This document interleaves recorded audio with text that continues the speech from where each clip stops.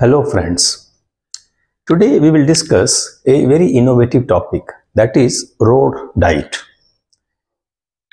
It is a reconfiguration of a roadway which is done to improve the safety, calm the traffic, provide better mobility and access for all road users and enhance overall quality of life. A road diet typically involves converting a four lane undivided road into a three lane with two lanes for through traffic and one central lane for right turning traffic. For left hand drive conditions, it is right turn and for right hand drive condition, it is for left turning. And that lane is called two way right turn lane. So it is like this that if you have a four lane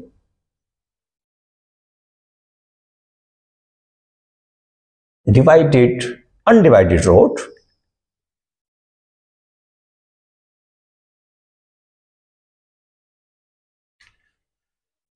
These are two lanes in each direction. It is converted to a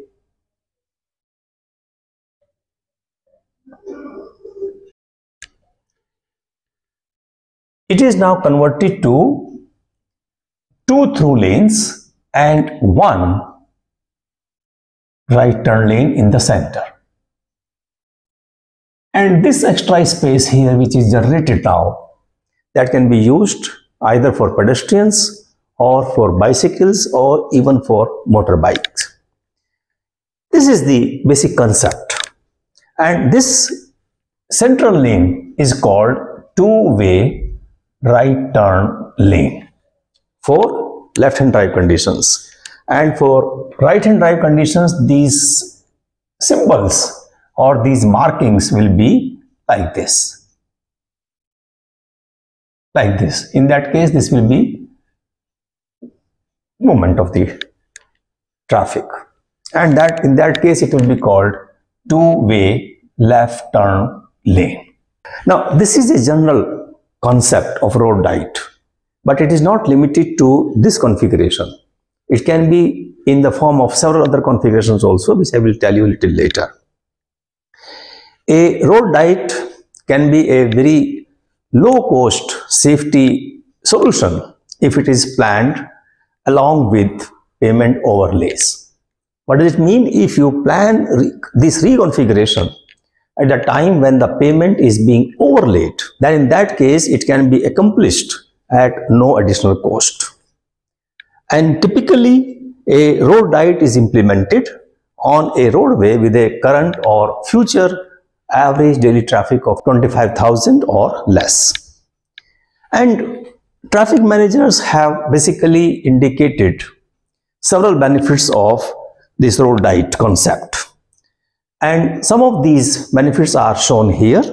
These are reduction of rear end and right turn crashes due to dedicated right turn lane, reduced right angle crashes as side street motorists cross 3 versus 4 travel lanes, fewer lanes for pedestrians to cross, opportunity to install pedestrian refuge islands, bicycle lanes, on-street parking or transit stops, traffic calming and more consistent speeds, a more community focused, complete streets environment that better accommodates the needs of all road users.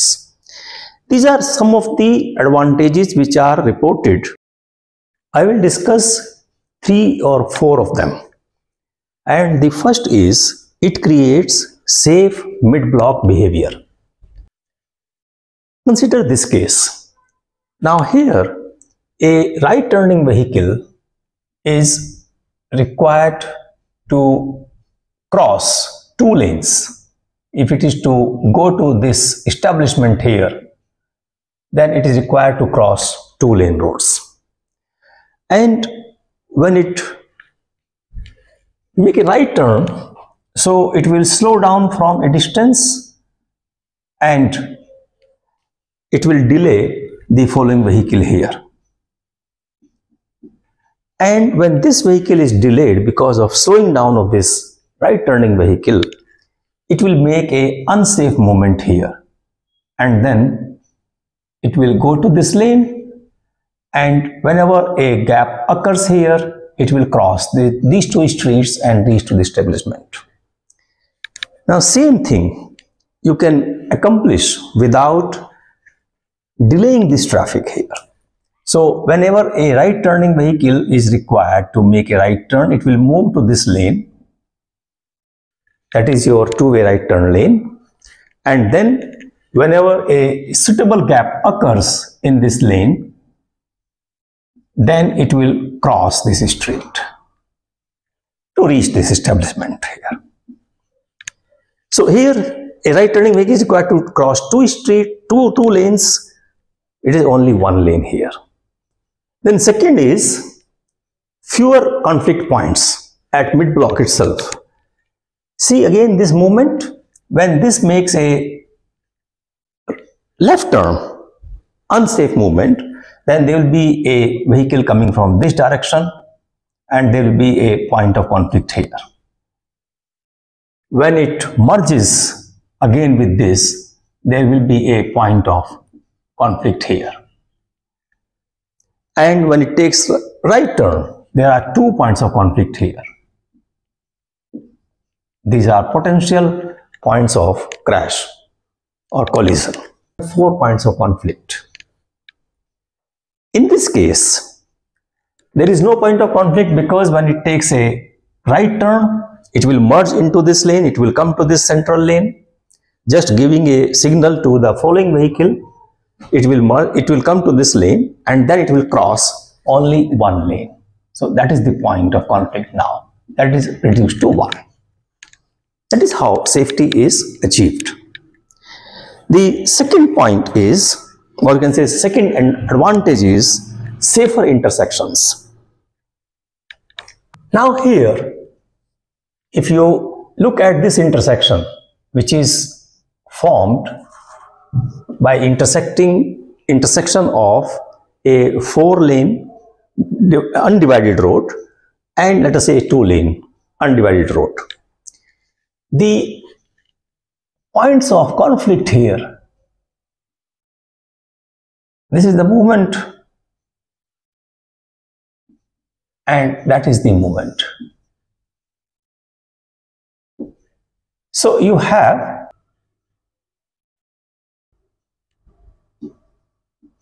so many points of conflict now. That is crossing.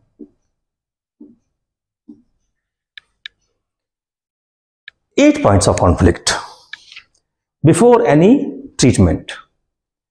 Now, if this road or this intersection is reconfigured, reconfigured to this,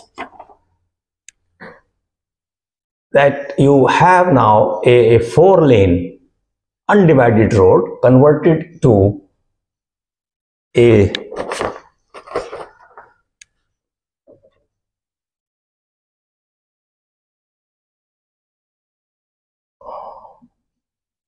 three lane. One lane for right turning and two lanes for through traffic Now, this is the movement here and that is the movement. Because you have to cross now only two lanes, so you have four points of conflict. And any right turning vehicle will move to this lane and then whenever it finds a gap, it will take the turn. Again, here in this case, a right turning vehicle will cross two lanes. Here it will cross only single lane. So that makes the intersections also safer. Now here you can provide even the pedestrian refuge island also for crossing of the pedestrians. And it is safer for pedestrians also. Here it is not possible. Here the pedestrian is required to cross the entire four lanes in one go. Because this is not a divided road, it's just a marking here, yellow color marking. This is also yellow color marking, a firm line, a dotted line. Then third is better right turn sight distance. This I can explain here itself. At intersection, now at this intersection, suppose this is the vehicle which is going right. This vehicle is going right. And there are vehicles in the opposing lane.